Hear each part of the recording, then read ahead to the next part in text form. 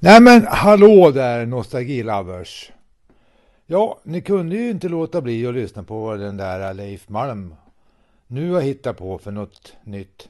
Med att göra en ny poddradio och kalla den för Historia från stad till landsbygd. Mm. Och det här jag faktiskt har stulit idén från mig själv. Som egentligen kommer från min Facebook-sida med samma namn faktiskt. Mm.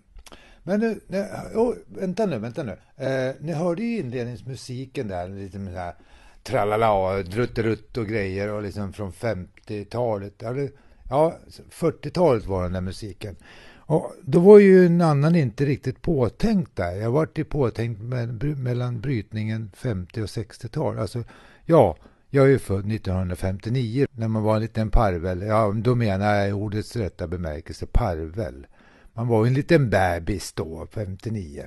Men sen växte jag upp under 60-talet och har man mycket minne från 60-talet när man växer upp som barn? Nej, det var ju mest lek och grejer. Så egentligen den mesta minnen jag har, det man kommer ihåg, det var ju från 70-talet. Och 70-talet, det hade jag ju inte tänkt att prata om nu, om ni trodde det. Jag hade tänkt prata om början av 1800-talet.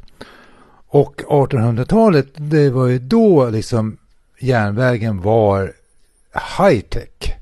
Och det var väldigt, väldigt spännande för människor att liksom uppleva ångloken, åka med tåget. Och, ja, men det, ja, det måste ha varit något helt otroligt för dem, de här människorna vid den tiden. Och jag funderar många gånger på det där. Jag pratade med min granne här där jag bor och han har ju en jädrans massa vykort eh, från olika städer. I alla fall, det var ju jättepopulärt att ta fotografier på järnvägsstationer och sånt där. Och det har vi funderat många gånger på när vi har suttit och tittat här på hans vykort. Att ja, men det, är, här var en järnvägsstation från den stan och, och där liksom poserar man framför kameran med en järnvägsstation. Det var mycket ånglok på fotografierna också. Då har vi ju kommit fram till det och att det var ju som sagt var high tech, den här ånglo, det här ångloket och, och eh, vagnar och grejer och det ångan och det kött och det dånade och det kanske inte var så konstigt att man tog fram vykort på järnvägsstationer och det, det var ju liksom så häftigt för den tidens människor. Det var väl därför det var så kan jag tro.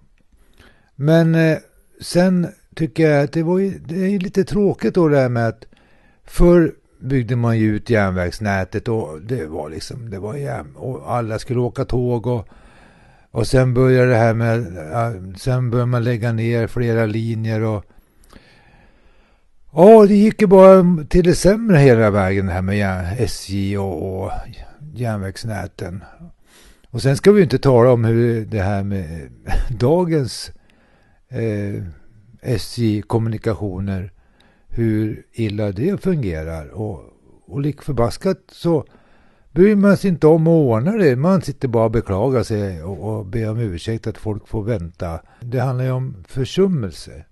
Man skiter totalt i att rusta upp järnvägsnätet.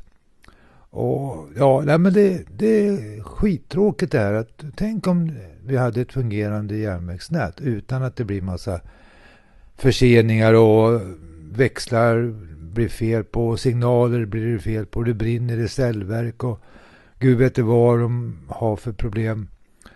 Eh, men ja, nu har jag liksom babblat iväg så nu är vi inne i nutid. Jag hoppas att ni inte blir så upprörda nu när jag tränger mig in i era Facebookgruppen, ni som tycker om nostalgi och tittar hellre kanske på fotografier än att lyssna på mig. Den här babblande medel åldersgubben. men eh, det här är i varje fall som sagt var premiär och eh, hmm, vill ni tycka till om det här och, och, ha lite åsikter om vad jag ska prata om fortsättningsvis nu, om det blir flera poddradio från historia till stad till landsbygd, så får ni gärna höra av er på 073 619 51 39 eller eh, skicka ett mail till mig på leif.malm gmail.com eh, men då ber jag så mycket om ursäkt att jag har eh, tagit upp er dyrbara tid och så får jag önska er er en trevlig och härlig fortsatt sommar. Mm. Så hoppas vi på lite mera regn och att grundvattnet kommer tillbaka till normala nivåer. Ja, man kan alltid få önska. Mm. Men ha det gott och tack återigen för att ni lyssnade på mig och mitt babblande här. Mm. Ha det gott, hejdå!